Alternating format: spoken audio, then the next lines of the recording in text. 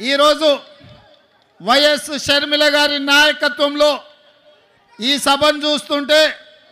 నాకు విశాఖపట్నంలో ఉన్నట్టు లేదు. హైదరాబాదు నగరంలో తెలంగాణలో నేను నా కార్యకర్తలతో ఏర్పాటు చేసిన సభ ఎంత విజయవంత అవుతుందో వేలాది మంది వచ్చి అండగా నిలబడతారో ఇవాళ ఇక్కడ చూస్తుంటే నాకు హైదరాబాద్ నగరంలో కాంగ్రెస్ పార్టీ సభను ఏర్పాటు చేసినట్టుగా ఉంది. వాస్తవంగా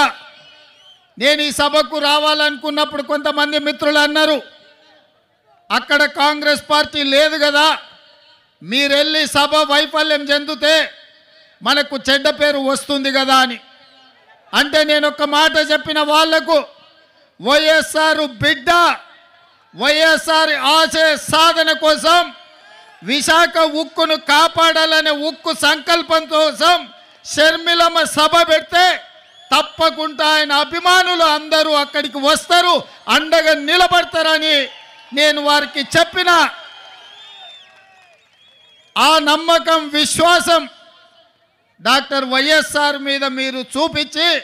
షర్మిలమ్మను ఆశీర్వదించి విశాఖ ఉక్కును కాపాడుకోవడానికి వచ్చినందుకు